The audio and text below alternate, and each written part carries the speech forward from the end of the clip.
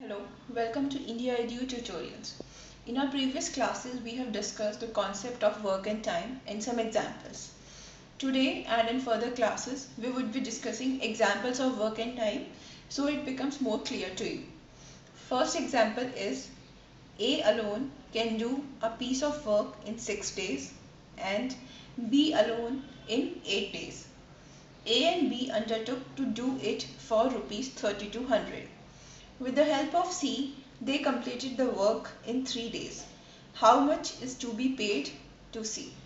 So, in the questions of work and time, as told you earlier, first you need to calculate their one day work.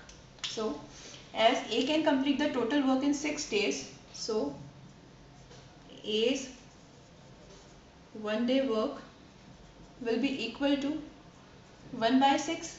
Similarly, B's one day work is equal to 1 by 8. Now it is given in the question that with the help of C they completed the work in 3 days. That is A plus B plus C completed work in 3 days. So their one day work will be A plus B plus C's one day work is equal to 1 by 3. Now, this one day work of there will be equal to A's one day work plus B's one day work plus C's one day work equals to 1 by 3. Now, with the help of this equation, we can calculate C's one day work. So, A's plus B's plus C's one day work is equal to their total one day work. Now, A's one day work is 1 by 6 plus B's one day work which is 1 by 8 and C's one day work is equal to 1 by 3. So C's one day work is equal to 1 by 3 minus 1 by 6 minus 1 by 8. Taking the LCM we get 48. Now it's 3 into 16 minus 8 minus 6 that is 16 minus 14 upon 48 which gives us 2 by 48 that is 1 by 24 so C's one day work is 1 by 24 their ratio becomes A ratio B ratio C is equal to 1 by 6 ratio 1 by 8 ratio 1 by 24 we have taken this ratio because the amount that is paid to them will be depend on their efficiency. Multiplying this ratio by 24 we will get here 24 by 6 ratio 24 by 8 ratio 24 by 24 that is equal to 4 ratio 3 ratio 1 so they will get this 3200 in ratio of 4 ratio 3 ratio 1 we need to find out only what is paid to C. So C's ratio will be equal to that is 1 by sum of the ratio that is 4 plus 3 plus 1 8 into total amount that is to be divided 3200. This has been told in ratio and proportion class. So this gives us 400. So A will get a share of rupees 400. Now let's discuss another example.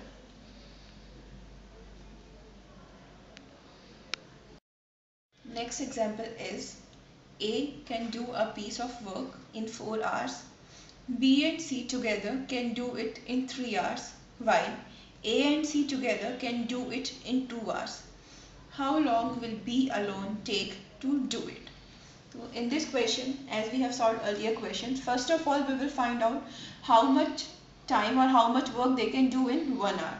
So A can do total piece of work in 4 hours. So A's work in 1 hour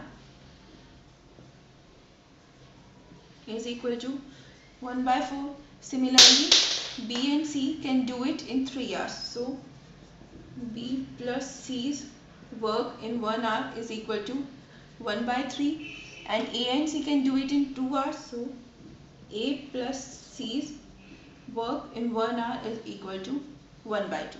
We need to find out that how long will B take to do the work. Now, A plus B plus C will give us the total work done by them.